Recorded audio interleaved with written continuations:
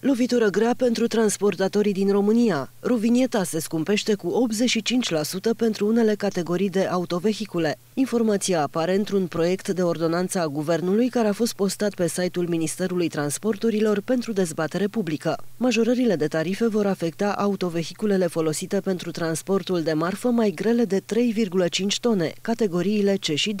Rovinieta pentru vehiculele de transport marfă cu masă cuprinsă între 3,5 și 7,5 tone va crește de la 4 la 12 euro pentru o zi, de la 16 la 30 de euro pentru o săptămână, de la 32 la 60 de euro pentru 30 de zile, de la 92 la 171 de euro pentru 90 de zile și de la 320 la 600 de euro pentru un an.